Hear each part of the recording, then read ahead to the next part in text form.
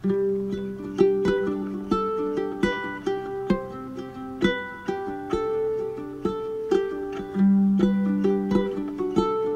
you so very much, Lucinda and Sarah and the Norwich Public Library and the Norwich Historical Society and Jacob and all of Vermont Humanities. It's really, really a pleasure to be here. And thank all of you for coming. My name is Judy Chalmer. I use she, her pronouns, and I'll be doing a little bit more of an introduction, but I too have just a few odds and ends that I think will be helpful first. I'll be the person who will kind of move us through the conversation. And I know that we can't see you and you can't see each other, but we know you're there. And we are so glad that you're there. Um, we know that you're that you're here from various places, from your homes or other places, from potentially anywhere in the world. And we know that some of you are going to be watching this recording afterwards. So we're glad that all of you are there and here. And just to create, just to create as much community as we possibly can with every piece of information we can, we can tell you that we are, our group size is uh, attending tonight is about 50 people. So let's get cozy with our 50ness. And um, I would just want to invite you to be comfortable in whatever room you're in, whatever clothes you're wearing. You can get up, you can sit down, you can lie down, you can stim, you can close your eyes, you can make noise. Let's use this space that we have together to be fully ourselves. So use the chat box anytime. If you are uh, unable to use the chat box, I'm going to spell out Jacob's um, email address for you uh, and because you can also email him with questions and comments if you can't use the chat. It's J Pelletier, all one word, J P E L L E T I E R at vermonthumanities.org. And Vermont Humanities is all one word with no caps or spaces. So, our agenda for this evening is that we will all introduce ourselves and then we are going to read poems in honor of Deborah Lisi Baker, who is going to be with us and read her own poems and be part of this conversation tonight, and whose loss we mourn with our community very, very deeply. I will say a little bit more about that when we get to that section but each of us then will read a poem um, of after after we read our poems in tribute to Deborah. Each of us will read another of our poems, and after each poem, we will have a conversation about things within the poem or things the poem brings to mind. And please, and then we'll at the end we'll have time for some questions and answers. And please just jot down your questions as we go. So with that, I'm going to begin by a little bit more uh, introduction of myself and then invite Eli and Toby to do likewise. So I am a light skinned older woman with short gray hair and brown eyes, blue rim glasses. I've got lots of wrinkles and blotches, and I'm wearing um, a black turtleneck. Uh, and you can see behind me the sort of burnt orange top of a futon that I'm sitting on and a blank white wall behind me. Um, identity pieces that are salient tonight. I'm queer, disabled, a poet, and I'm very happily a board member of Vermont Humanities. So um, just tickled that you're here. So Eli.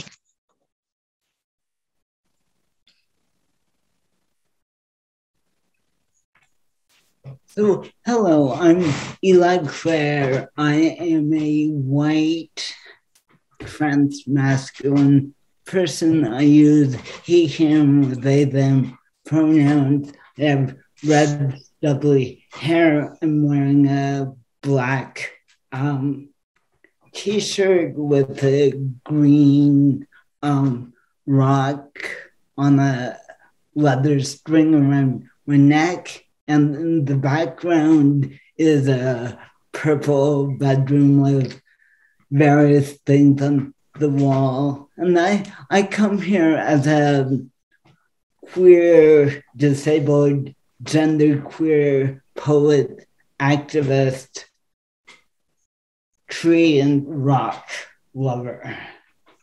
I'm really happy to be and grateful for all the labor that has made this event possible. Thank you. Thanks, Eli. Toby. Hello, my name is Toby MacNutt. My pronouns are they, them. I am a short, broad shouldered white person. I have a short, dark beard and no real hair left on top anymore. Um, I'm wearing rainbow rimmed glasses and big silver headphones, as well as a dark shirt and a knitted vest. I'm on my teal couch in my living room with a neutral wall behind me and a mirror showing some incoherent reflections of the rest of the space. Um, I am here also as a transmasculine and non-binary person, um, as a queer person, a um, disabled person whose disability fluctuates over time, um, as well as an autistic person. Um, and I am a poet as well as being a textile artist and a dancer and choreographer, all of which tend to wiggle into my work in one way or another.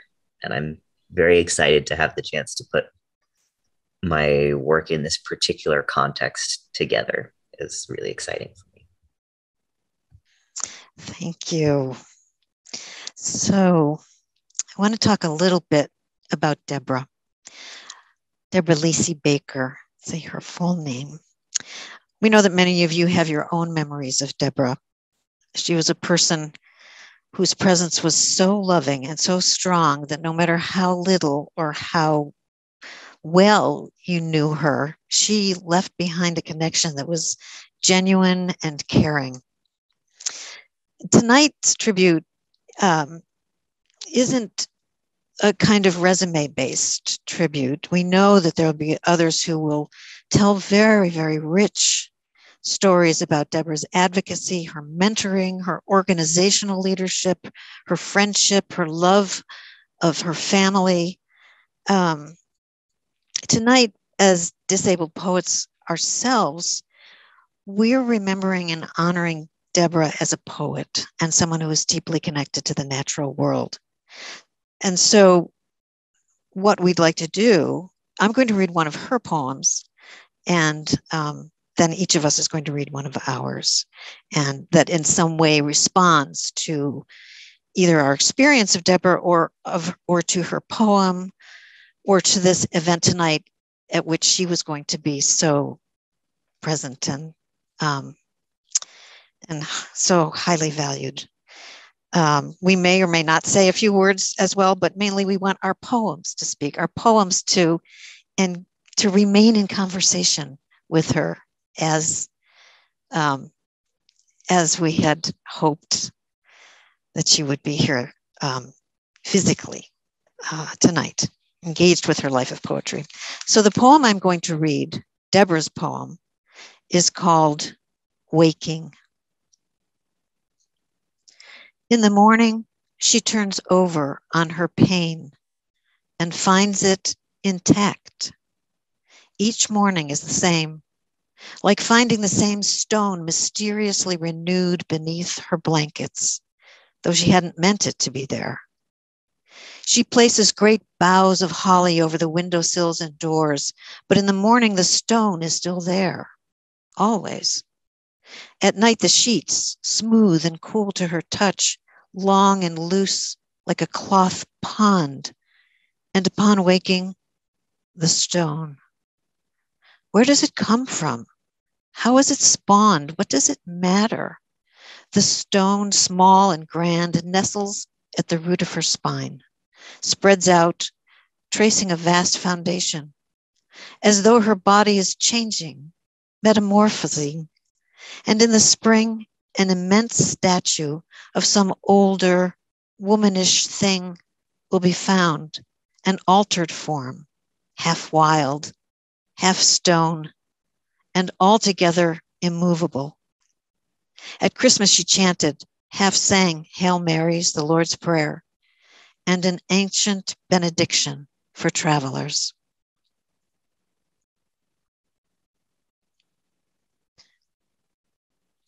So, Toby, would you read a poem? I am going to read to you an unpublished poem. Um, the title it has in the access document is Rituals. Um, rituals are one of the conversations we were incubating uh, with Deborah as we planned this event. So, rituals. One, the ritual of cold nights. In the dark of the moon, eat one seed for each long lost once lover, red and bittersweet in the darkness on the tongue. Two, the ritual of cold water. Lower her body into the river, its current known to take away the pain. She screams as the water boils from its effort. Three, the ritual of cold words is unwritten. 4. The ritual of cold bones. On a salt crusted stone, on a bed of bruised and weeping leaves, on the ground, below the ground, press embers into the hollows of my body, and I will rise.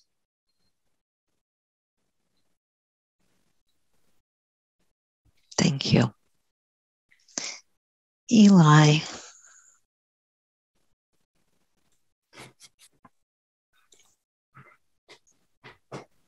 So I'm going to read a poem that I started early in the, the pandemic and finished after some after a beloved leader and activist in disability community died in May of 2020. And one of the things that's true about Deborah's death is this experience of foreshortened life and sudden death is is one of the experiences that defines disability community. And I was so thinking of that, that wrote this poem called Heartbreak.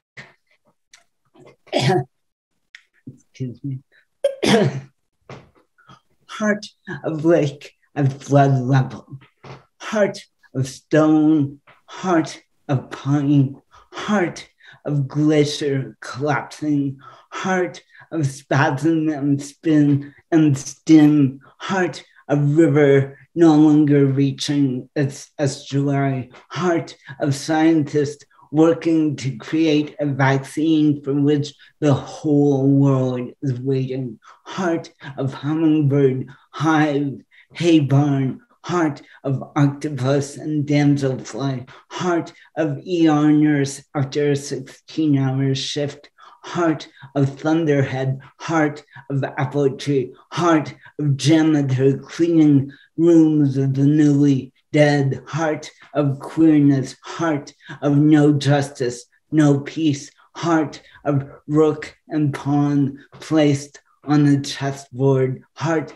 of falcon nesting atop a skyscraper, heart of tightrope walker at 2 a.m., heart of dance floor disco ball drag queen after one too many whiskey sours, heart of Black Lives Matter, heart of snake mouse, owl, heart of bedrock, heart of treehouse, heart of grief, heart of jet stream, heart of moon, heart of sandhill crane, heart of rumble, heart of rage, heart of hallucination, heart of hardness, heart of slowness, heart of worry, heart of orgasm, heart of gasping for breath, heart of ventilator, heart quivering, heart stumbling, heart beginning to stop, beginning to break, beginning to rise. Thank you.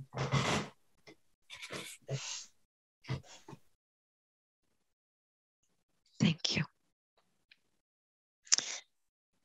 My poem uh, is about grief, and it is titled After My Sister Dies, I Practice Animal Tracking. I'm going to give you just a quick verbal description of how it appears on the page because I think it'll help as you listen. This is a series of short disconnected images and they're separated on the page, reminiscent of the way, it, way tra- animal tracks might appear or memories. And I'll pause briefly in between them. After my sister dies, I practice animal tracking. A bare branch, cleanly nipped, less than an inch thick, left where it fell. Slabs of bark tossed to the ground, steadfast effort, alone in the night. Under the tipped tree, could be porcupine. It's a mess. How long ago did you sit here? Now anyone can see. You don't mind that I'm here? Near the condo, smooth bark bitten sideways. I remember corn on the cob. Deep woods, steady prints. Why only here am I content with the past? Knowing so little, I explain everything I can, slowing everyone way down. Loping, three prints, curved line. Why am I still surprised to learn things that you did? The bright tips of the claws, a starburst up the trunk. All those years I didn't look. double prints, something bounding away, its soft body just clearing the snow. Thank you.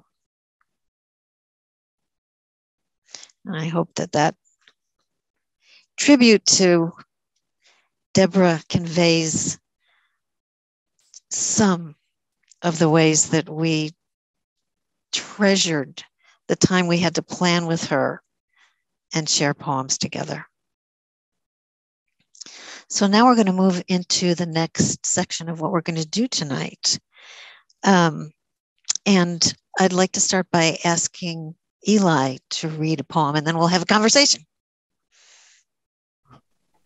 So, my body is radically shaped and defined by tremoring of lots of kinds. Every part of my body tremors. And I have written about my tremoring body for 30 years, probably. And I've just started thinking about the way tremors exist everywhere in the world, both the human made world and the more than human world. And so I'm um, going to read one of these poems about tremors in the world and chose this partly because of Deborah's poem about stone, because this is also about stone. And we were having this deep, deep email exchange about stone as well as ritual. So this is called Tremors Planet. Your tremoring hands and mine. Remember how tectonic plates yearn for friction, heat, that long jolting rub of rock against rock, and yet hold still, still till they can no longer bear the stillness.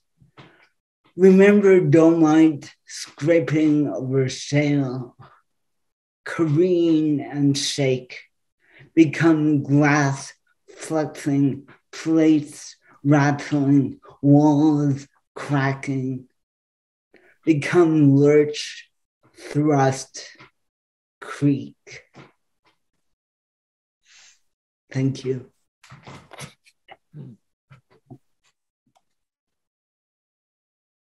So, Toby, what's on your mind as you hear that poem? I'm still part of me is having this unfinished conversation about stone um, and the way that we have approached stone as something other than a cold or inert or immovable obstacle of an object, but as this more um, mobile, warm, fleshly component that we have this different relationship to this hard thing that I've really appreciated. Um, and as well, something that I've noticed in Eli's work that I'm wondering if you'd like to talk about, Eli, is the level of integration with the natural world really strikes me as not just being a part of the natural world, but claiming of space as being the natural world, that we are not, we are a small part, but we are also the whole thing, which I love. And I'm wondering if you're in the same perspective or if it's something you'd like to talk about it all.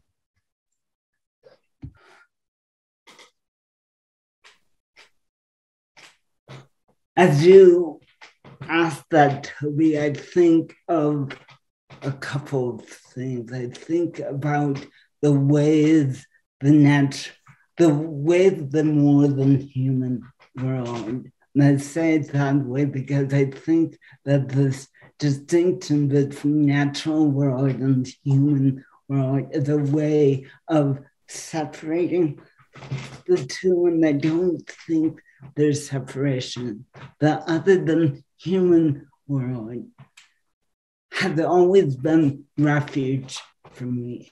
And refuge because as a disabled kid who had a really visible disability, his disability led into every space I was in. And, and as a kid um, and as an adult, being harassed and gawked at for all the difference contained visibly in my body that the, the other than human world provided so much refuge for me and provided the reflection of how different different beings were. Uh, there wasn't uniformity, that there weren't averages, that there wasn't better bodies and worse bodies. There weren't disposable bodies and valuable bodies that I learned in the more than human world about body variation in itself being necessary. And in that learning, I, I learned that I was one tiny connected piece of that difference between beings. And, and finally, I learned that there's so much magic in the other than human world, so much that science by itself doesn't explain. Science being incredibly important. The field guides naming different beings as distinct is really important. But there is so much magic beyond and through and among that science. So, Toby, that's not an answer to your question, but those, those, are, the, those are some of the pieces that this question provokes for me. So, thank you so much for the provocation. And my apologies for the lack of answer. It's only kind of a question, so I think we're pretty even on that one. More of an observation.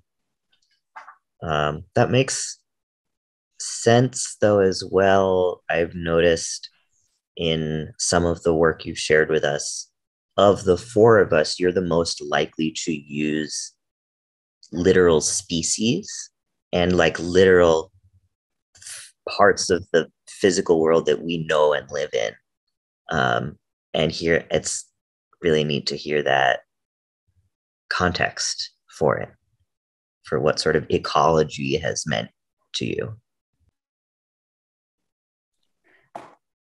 And just to add a detail to that, the poem I just read was written after spending many, many hours at the thrust fault on Lake Champlain that's out at the end of Rock Point. So it's as specific as that. And like I take so much joy in learning an ecosystem well enough that I can begin to ground images in that ecosystem. And there's some limitations to that. There are some limitations to connecting my work so specifically, and there are strengths to it. I it's not like my penchant for getting really connected to specific ecosystems isn't the right way or the wrong way to write about the more than human world. It's just one way of doing that. And is a belief that the specificities of our disabled body minds is really important. And the specificity is from the inside out, not from the outside in, but from the inside out. And by specificity, I don't mean our diagnoses at all. That diagnoses are useful, but they're often from the outside in. And so, along with the ecosystem specificity, I really believe in the specificity of our body minds.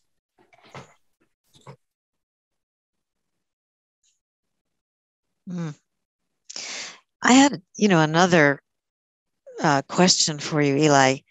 Um, in the poem, there's a lot about friction and becoming.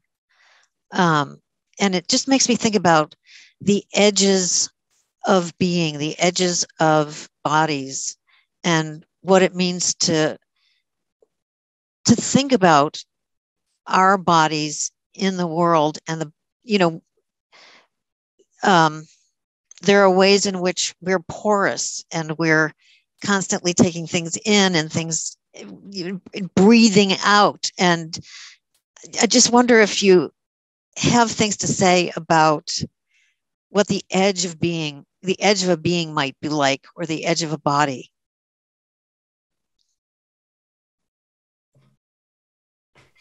That's such a big question, Judy. We could rewind this whole hour and talk about edges, right? Edges is another theme. Let me suggest edges as a theme for a, for an event of this nature at some point.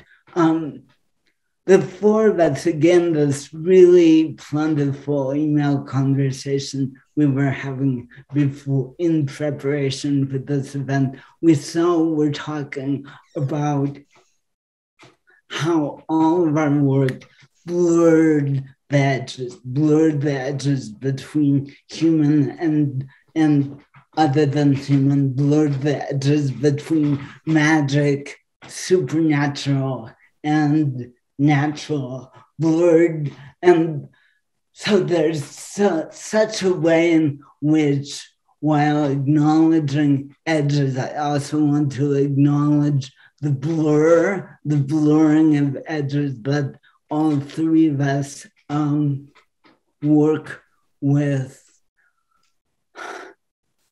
One of the features of ableism to to kind of pivot to another kind of reflection based on that conversation. And uh, one of the features of ableism, and very briefly, ableism is the system of oppression that targets disabled, mad, deaf, neurodivergent, um, and chronically ill people, and people assumed to be disabled, whether whether or not disabled, assumed to be disabled. One of the features of ableism is to draw really distinct edges between bodies that are seen, body minds that are seen as wrong and bad and disposable, and body minds that it might be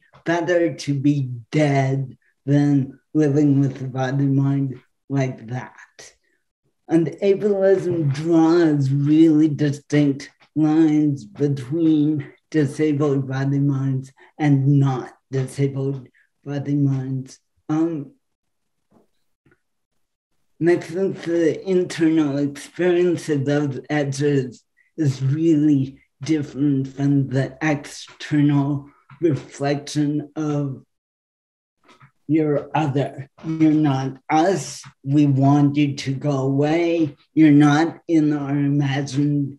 Another feature of ableism is this belief that disabled people are not in an uh, imagined, longed for, lived for a future, that disability doesn't exist in that future. And I think all of our work presses back against those ableist edges and those ableist, the beliefs behind those ableist edges. And the queer ones as well.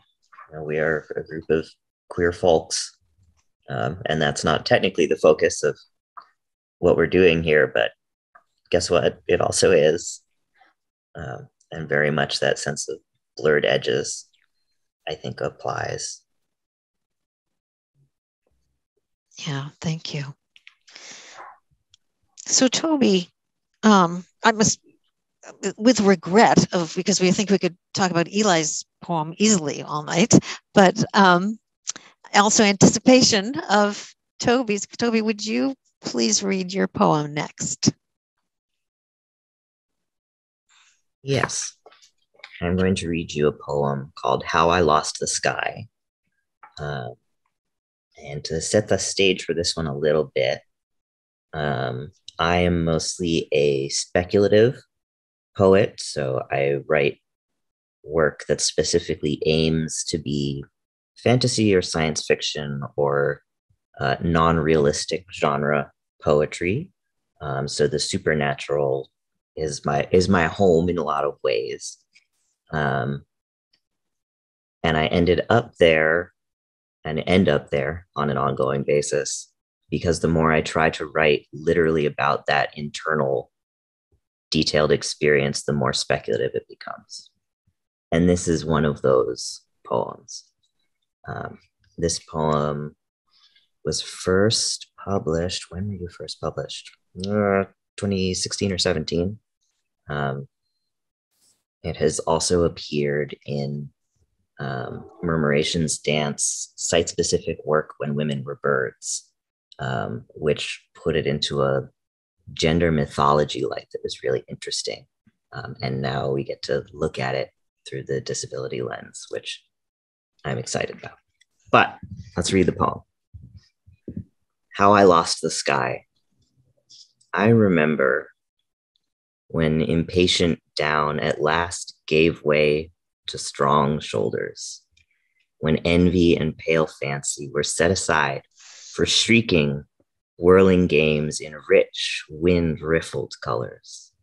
I remember broad, lazy buzzard circles, the silent stalking of owls, entire congregations of us wheeling like a hive mind, flocking, murmurating.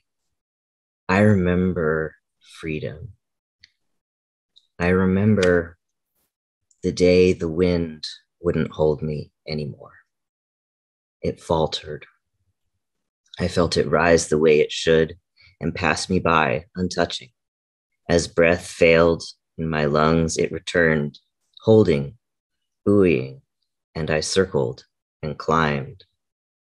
I was still flying but the wind the wind had dropped me and in that moment i knew i had lost the sky i told no one I gathered myself, arranged my plumage, preened and shining one last time.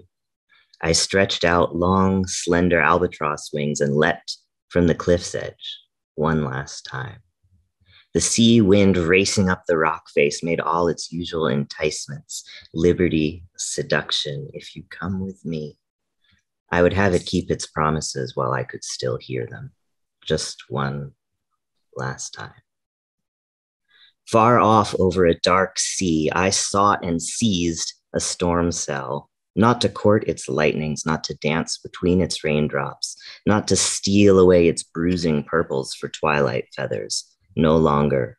I drove hard amidst the thunderclaps to the silence at its heart where the wind chokes on its own tail, suffocates.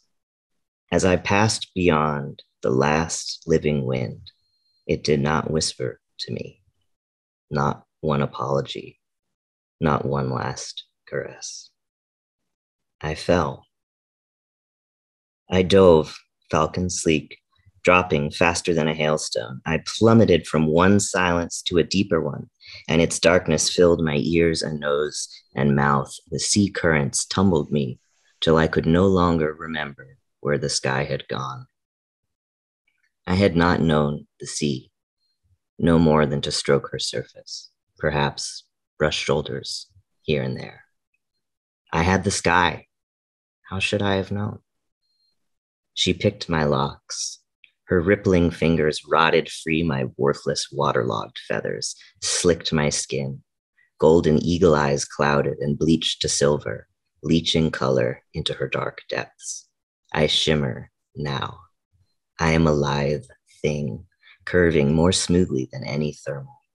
And on clear nights, little glowing, rising plankton reflect against the surface in a slow dance of glittering lights, twice as many stars as any sky.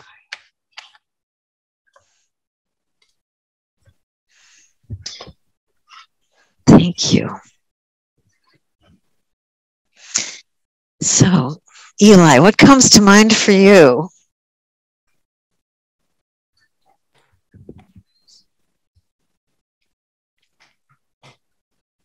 Toby, that poem so makes me think. There, there. I'm trying to choose between two, two thoughts.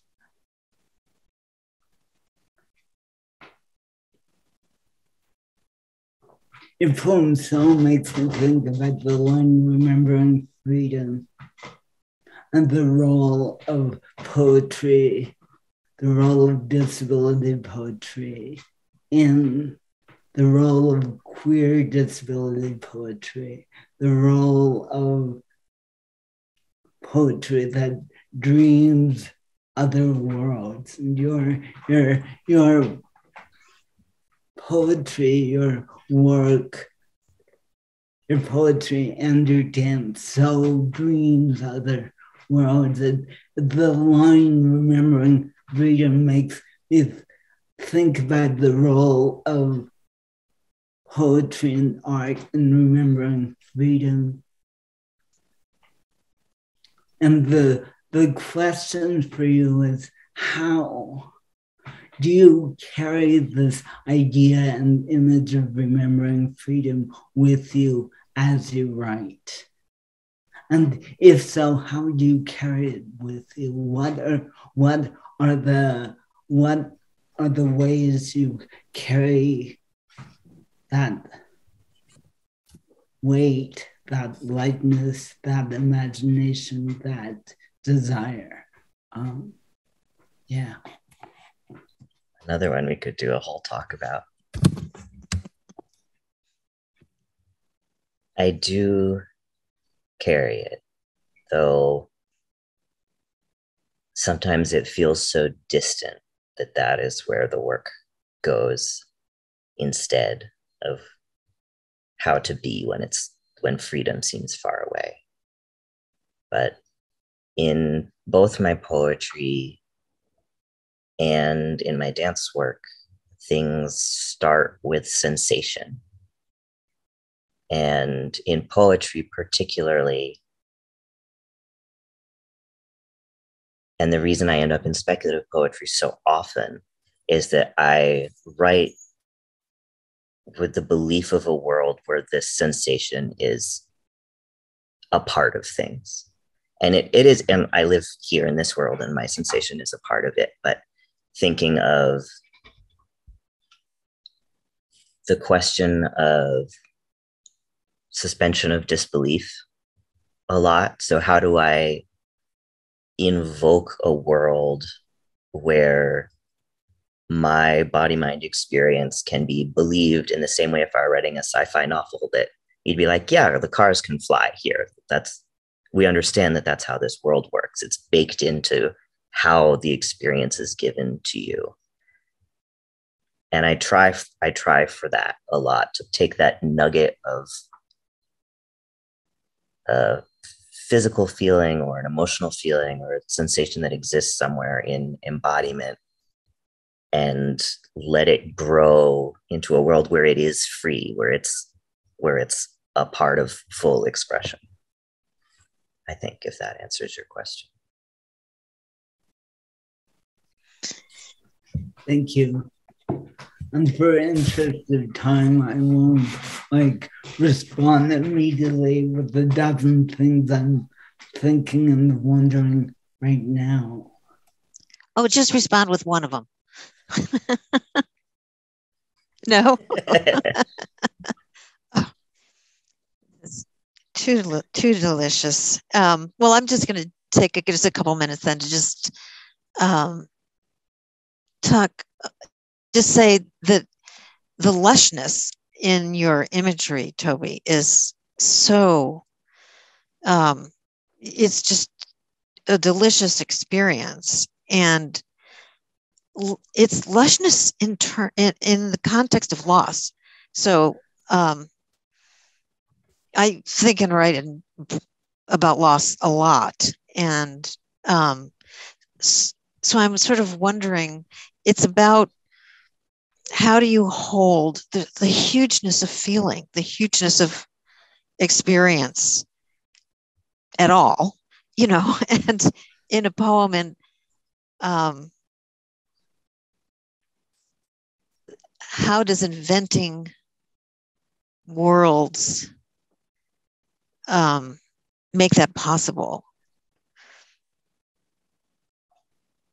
Yeah, um, I've I also write about loss a lot, and I've struggled with how I want to do so uh, as a disabled person and as a trans person. I had a bunch of guilt early on when I started trying to address loss um, about whether it would play into people's beliefs about disability, particularly as being a loss and lesser reductive process. Um, and ultimately concluded that we have to be allowed to have grief and that grief isn't mutually exclusive from pride or from pleasure. Um, and queer stuff helped me figure some of that out that pride's opposite, if it can be said to have one, is shame, not grief. Grief is its other, is another entity, and it can it can be there, and it if it is, you should see it. Uh, you should you should have to know it, notice it. But one of the things poetry and speculative poetry lets me have is loss that transforms in a more literal way. I've written so many times. I will write a poem, I look and be like, "Oh, look, I did it again." Um, I keep coming back to it, where by surrendering to the experience of the loss, something new can happen, um, and that comes back to what I was saying about the more literally I write about my experiences, the more speculative they become. So this poem follows much more closely than people would guess my transition into understanding myself as a disabled person, which felt like giving up. It felt like a loss. It felt like a brokenness. the first thing I lost to changes in my body was the sky. My dad is a hang glider pilot. I grew up around flying and flight. I have flown without a motor and it's amazing. And that was the first thing that changed was my body couldn't do that anymore. Um, and figuring out how to talk about that moment took decades afterwards. But that sense of there was this loss and that feeling of, I guess that's it, that's the end. But once I could understand myself in the light of, oh, I exist in a disabled body mind, this is where I'm at.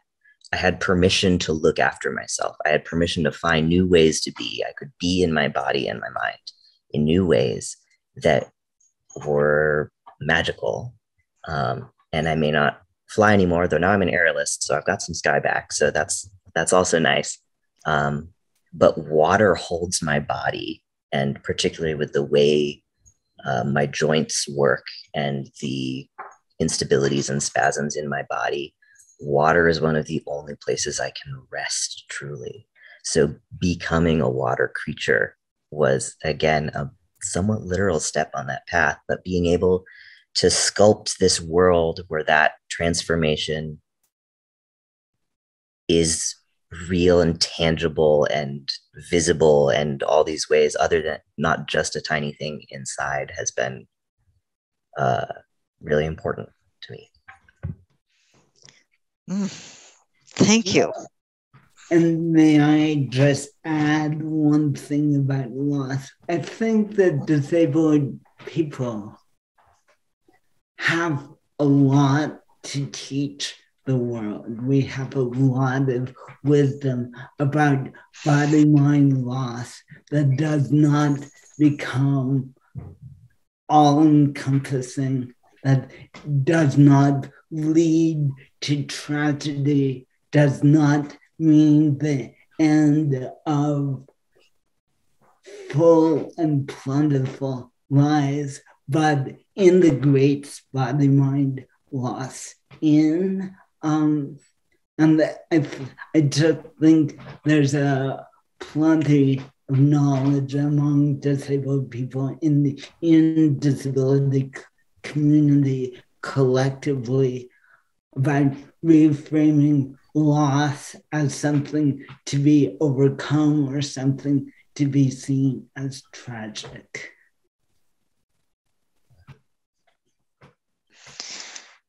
Thank you. Thank you.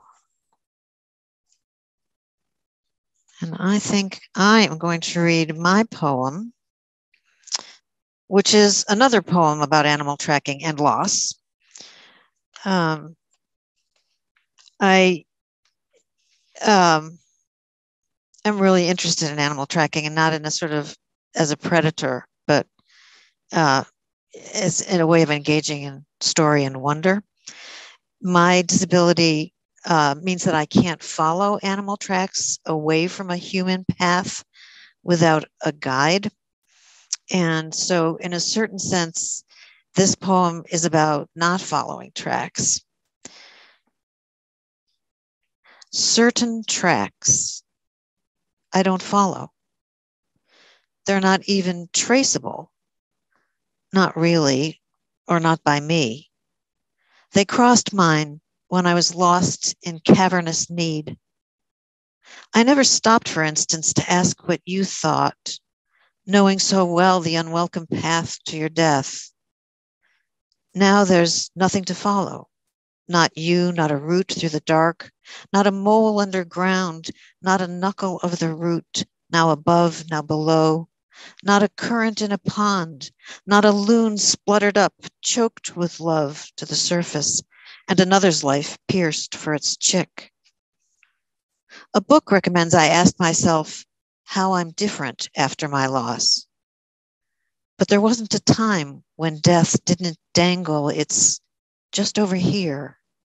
It's cruel once you were loved. It's why not keep looking? I've counted to 20 slowly. I've yet to be found. Last night outside my window, a fox barked on and off for an hour, arguing disbelief at the silent lift of the owl. I don't follow how we fall from our lives, or maybe just float off and a sadness hovers over that spot. I can't find the scent. I can't find the spot. By instinct, I find I'm lost. So, um, I guess, um, Toby, do you have a question about that? I should have re-looked up my questions before we got started, but I have. I will go with this question. I'm curious about, as we've seen it in a few pieces of yours, the connection between lost in the emotional sense and being literally lost in the woods. Yeah. Um, and if um, and what your experience of being in the literal woods is.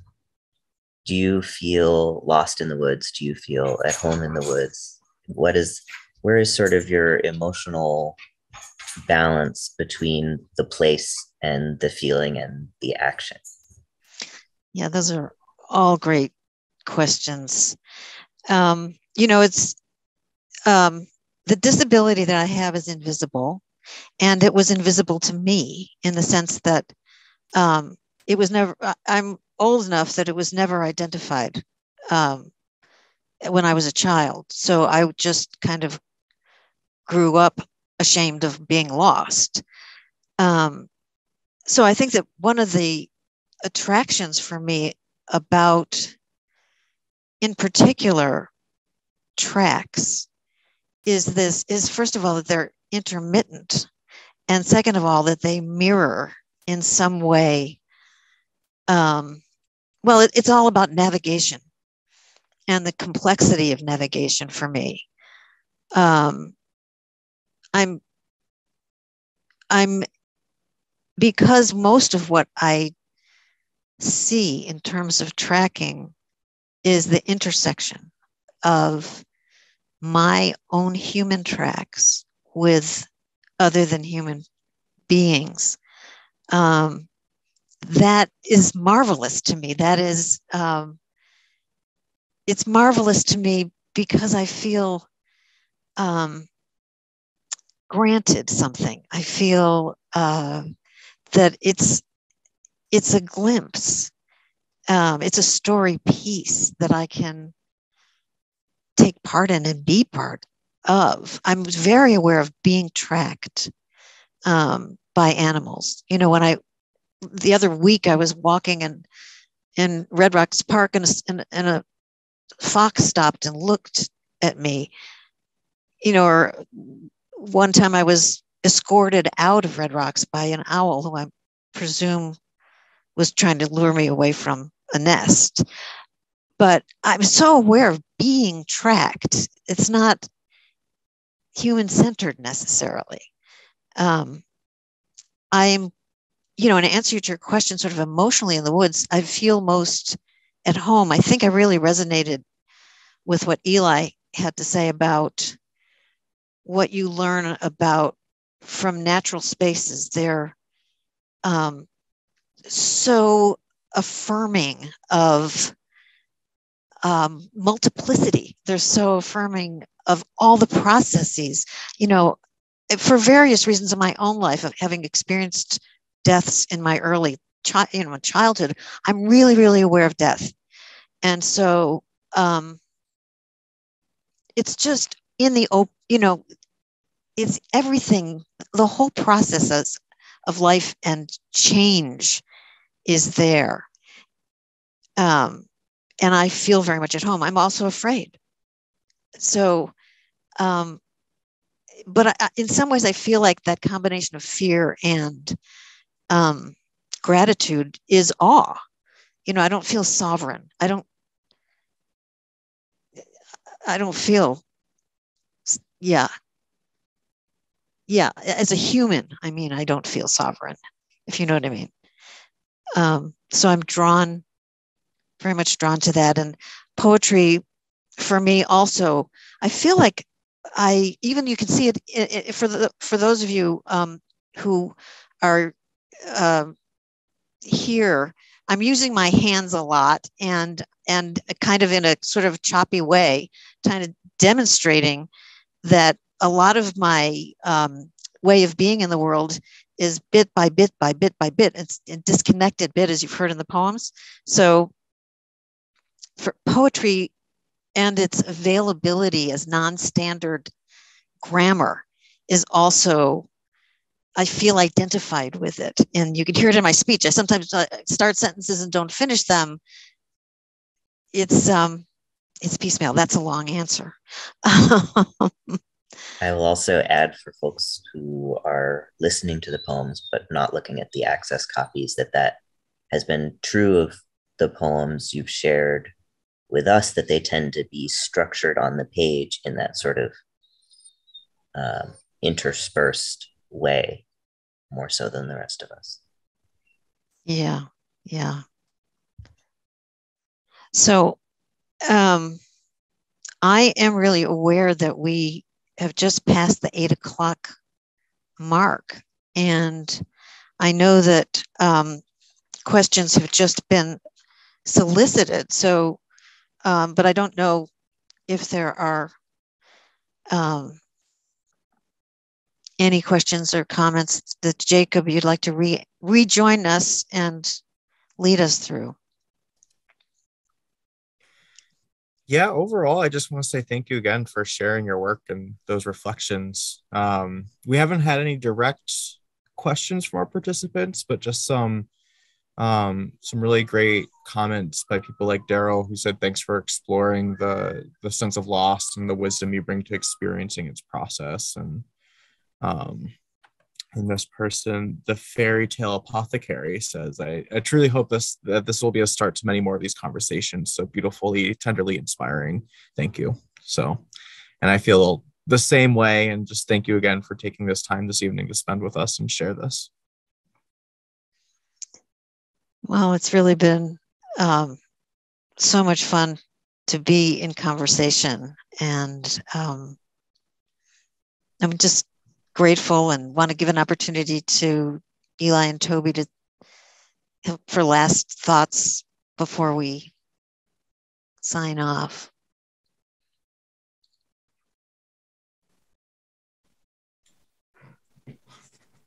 Something we haven't talked about, but I would feel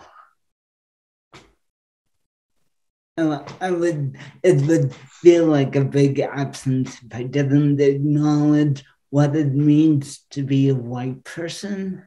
And to be a white person descended from settlers um, seeking refuge, seeking freedom, seeking solace, and and writing from inside the more than human world. That as a white person directly descended from settlers, like I'm doing that on land that was stolen, that I have lived in places where the land was unceded land. I've lived on land where I have roots that are only one generation deep on that land, if that.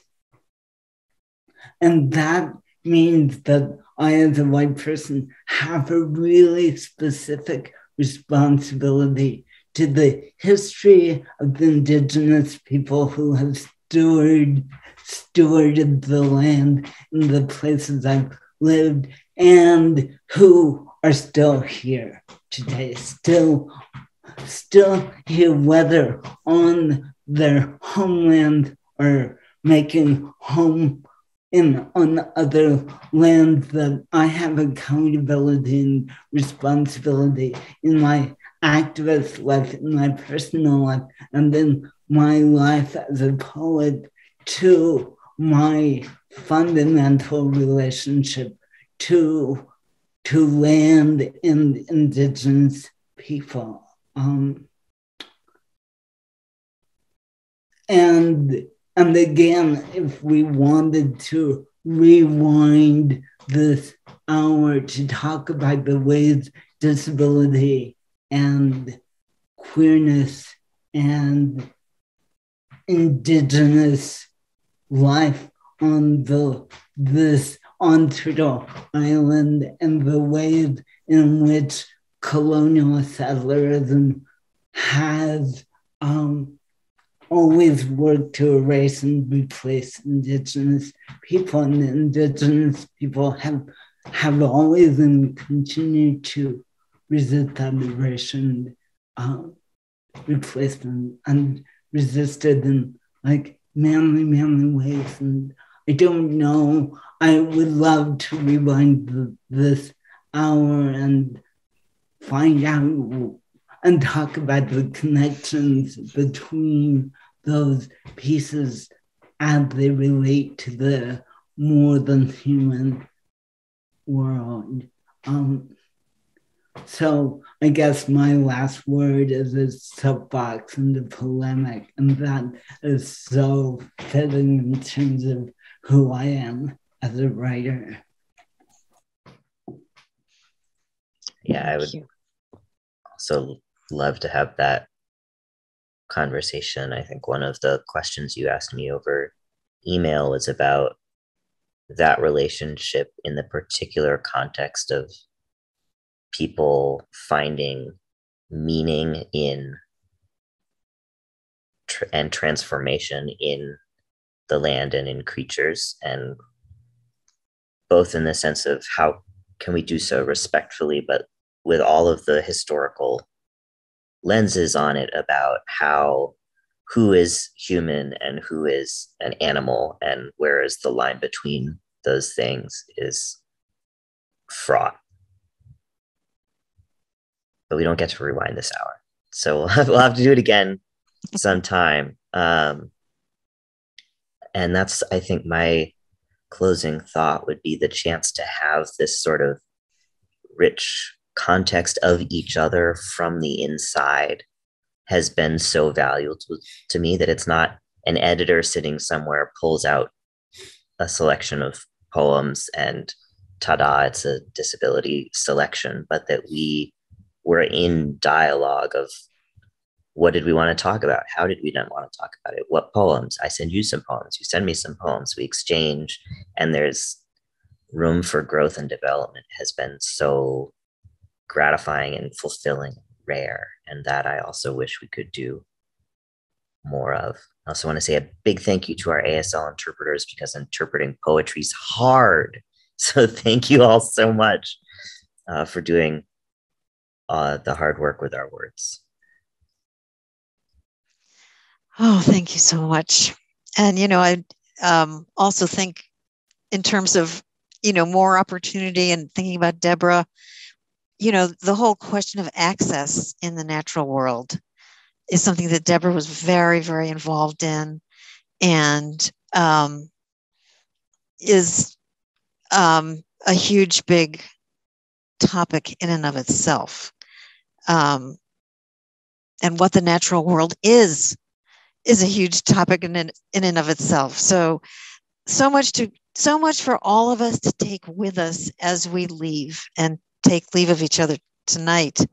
Um, so i just want to end with being thankful very very thankful to toby and eli for being such wonderful conversationalists and um, partners in this great uh, beginning, and um, to Jacob and to Sarah and to Lucinda and all of the interpreters and all of you who are who are here. Um, and um, it's just been a pleasure. So thank you very, very much. Yeah, thank you everyone again. And I think the big testament is that the discussions don't end here. So I look forward to the next time we get to continue this discussion or find new ones and find each other online or in the real world soon. So thank you all and have a great night.